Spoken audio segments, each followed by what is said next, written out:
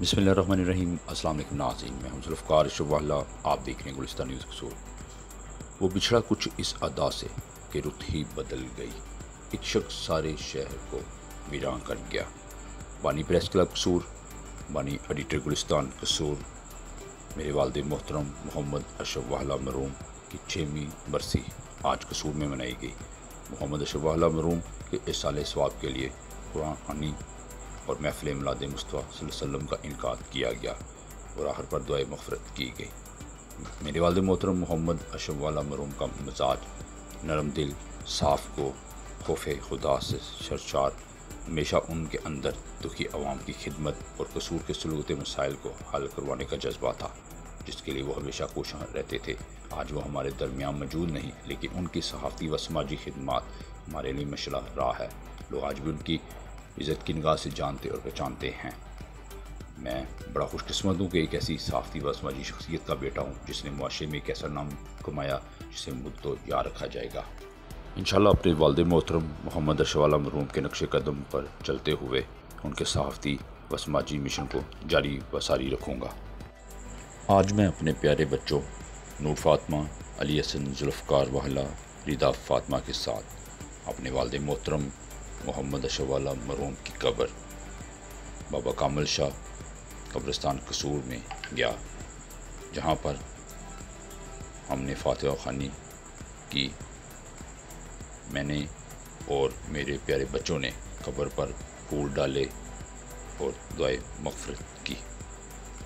मेरे वालद मोहतरम, मोहम्मद अशफ वाला मरहूम ने हमेशा कसूर के सुलगते हुए मसाइल को अपने कलब की ताकत से उजागर किया। और उन्हें हल करवाने में अपना भरपूर रोल अदा किया। इसी वजह से आज कसूर की आवाम और उनके दोस्त अहबाब उन्हें याद करते हैं। क्योंकि मेरे वालद मोहतर मोहम्मद अशवाला मरूम जैसी शख्सियात सदियों बाद पैदा होती है। जिस तरह की मेरे वालद मोहतरम मोहम्मद अशवाला मरूम साफ़ती व समाजी शख्सियत थे, उनके साफ़ती व समाजी कामों को जितना भी खराज तहसीन पेश किया जाए, वो कम है। वो वो आज हमारे दरमियान मौजूद नहीं, लेकिन उनकी मोहब्बत, शफकत हमारे साथ है, जिनको कभी भी बुलाया नहीं जा सकता। अस्सलाम वालेकुम नाज़रीन, मैं हूँ आपका मेज़बान जुल्फ़ार वाला आप देख रहे हैं गुलिस्तान न्यूज़ कसूर मैं इस वक्त अपनी कैमरामैन टीम मनीर अहमद उमिया नसीम मोनी के साथ। बाबा कामल शाह कब्रस्तान कसूर में मौजूद हूँ। इस वक्त मैं अपने वालद मोहतरम मोहम्मद अशरफ वाला मरहूम। बानी प्रेस क्लब कसूर बानी एडिटर गुलिस्तान कसूर कसूर की साफ़त का एक ऐसा दरखशंदा तारा। जिसकी साफ़ती खदमात को जितना भी सराहा जाए, कभी भी उनकी खदमात को फरामोश भी नहीं किया जा सकता। एक ऐसा साफ़ी जो जिसका नेम बदल ही कोई नहीं, ऐसा कोई साफ़ी कसूर में पैदा ही नहीं हो सका। ऐसा नाम जिसे आज भी लोग याद करते हैं। मेरे वालद मोहत मोहम्मद अशवाल मरूम को हमसे बिछड़े छः बरस बीत गए। आज मैं उनकी कबर पर मौजूद हूँ। जितनी वाल साहब की कमी महसूस होती है, आज तक अभी दुनिया में किसी चीज़ की कमी महसूस नहीं हुई। मैं बड़ा मिस करता हूँ अपने वाल साहब को। बहुत ज़्यादा मिस करता हूँ। इस वक्त मैं बच्चों के साथ प्यारे बच्चों नूर फातमा अली हसन जुल्फ़ार वाला रिदा फातमा के साथ अपने वाल साहब कब्र पे मौजूद हूँ। हम अपने प्यारे बच्चों से बात करते हैं।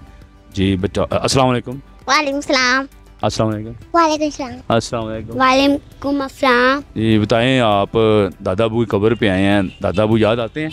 हाँ हमें अपने दादा बहुत याद आते हैं। हम दादा अबू क्या कहेंगे? दादा अबू हम आपको मिलने आए हैं। मिस करते हैं? हाँ। बहुत ज़्यादा। हम्म, ये आप बताएँ मिस करते हैं अबू से वाला से प्यार करते हैं? हाँ। कितना? ज़्यादा। ज़्यादा? याद आती है? हाँ। अच्छा अबू वाला आएँगे? हाँ। अच्छा अली साहब आप बताएँ अबू वाला याद आते हैं? हाँ। तो और हम अपने दादा अबू को मिस भी करते हैं। अच्छा, अपने दादा अबू को क्या कहेंगे? आई लव यू दादा अबू। नाजिन मेरे प्यारे बच्चे अबू वाला को याद करके बता रहे थे कि बहुत ज़्यादा मिस करते हैं। आई लव यू दादा को।